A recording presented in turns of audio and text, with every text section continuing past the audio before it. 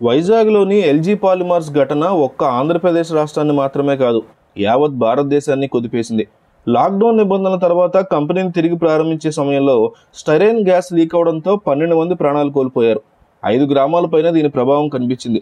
దీంతో అప్రమత్తమైనటువంటి ఏపీ సర్కార్ దీని మీద పూర్తి స్థాయిలో విచారణకు ఆదేశించింది. రాష్ట్ర పరిశ్రమల శాఖ ఇన్స్పెక్టర్ ఆఫ్ ఫ్యాక్టరీస్ పోలీసులు ఎల్జీ పాలిమర్స్ యొక్క భద్రతా ప్రమాణాల మీద తీవ్ర దృష్టి పెట్టి దర్యాప్తు చేస్తున్నారు.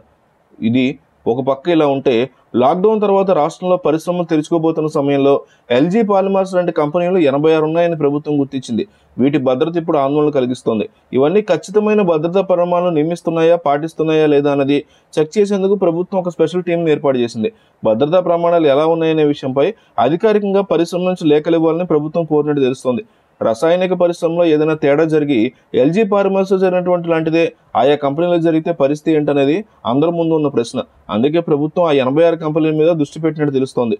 విశాఖ ఎల్జీ పాలిమర్స్ పరిశ్రమను చూసేందుకు డీజీపీ సవాంగ్తో కలిసి మంత్రి అవంతి శ్రీనివాస్ వెళ్ళగా స్థానికులు అడ్డుకున్నారు. మృతదేహాలతో ఆందోళనకు దిగిన స్థానికులు తమకు న్యాయం చేయాలంటూ డీజీపీ మంత్రిని అడ్డుకునేందుకు ప్రయత్నించారు. దీంతో పెద్ద సంఖ్యలో పోలీసులు మోహరించడంతో ఉద్రిక్త పరిస్థితి ఏర్పడింది. స్థానికులు సంయమనం పాటించాలని పోలీసు అధికారులు కోరినా పరిస్థితి అదుపులోకి రాలేదు.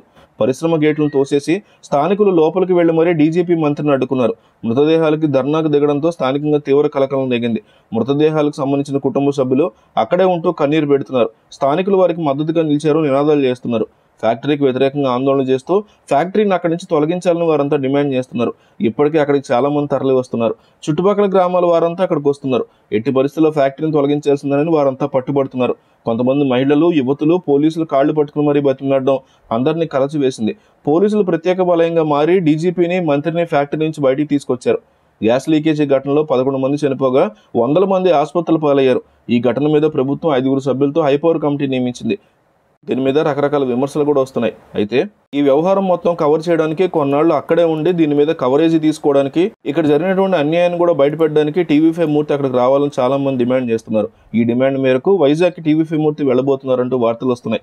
ఆయన వైజాగ్ వెళ్ళి ఇక్కడ జరిగినటువంటి విషయాలని బయట పెట్టగలరని మీరు నమ్మితే ఆయనకు ఒకే ఒక లైక్ ఇవ్వండి. టీవీ ఫైవ్ మూర్తి వైజాగ్కి వెళ్ళాలని కోరుకున్న ప్రతి ఒక్కరూ ఈ వీడియోని షేర్ చేయండి. ఎంతమంది షేర్ చేస్తారో అంతమందికి టీవీ ఫైవ్ మూర్తి మీద నమ్మకం ఉందని అర్థం.